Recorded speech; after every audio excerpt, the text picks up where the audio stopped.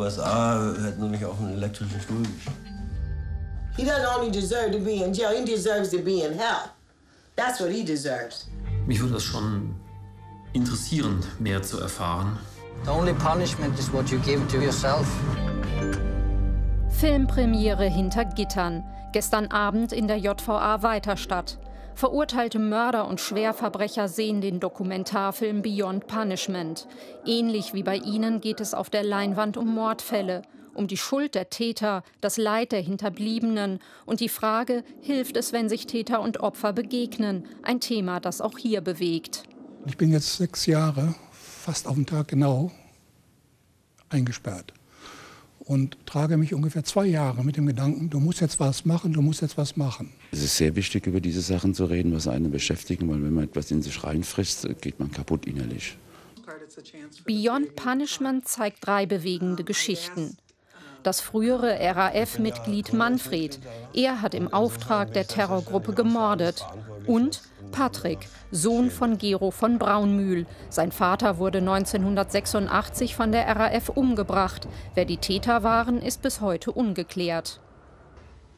Dieser Schrecken und die Tage danach, äh, was da alles passiert ist, das sind viele. Das ist ein trau traumatisches Erlebnis, was sich äh, äh, eingräbt.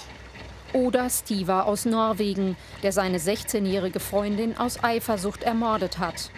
I can never tell him that I'm sorry for what I did because the word isn't strong enough.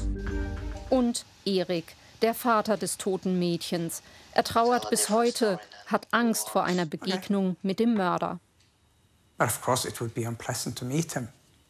He murdered my daughter. Of course it would be unpleasant. Können sich Täter und Opfer jemals aussöhnen? Eine Frage, die den Filmemacher Hubertus Siegert antreibt. Über einen Zeitraum von acht Jahren hat er die Beteiligten der drei Mordfälle einfühlsam beobachtet und interviewt.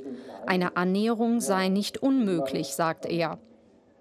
Dass der Prozess der Auseinandersetzung, der entlastenden Auseinandersetzung zwischen Tatverantwortlichen und Betroffenen ähm, ein Prozess ist, der in ganz kleinen Schritten geht, der viel Zeit braucht äh, und der trotzdem ganz ergebnisreich ist. Die Vorlage für den Film, ein Gefängnisprojekt aus den USA. Zweimal im Jahr treffen sich hier Täter und Verbrechensopfer.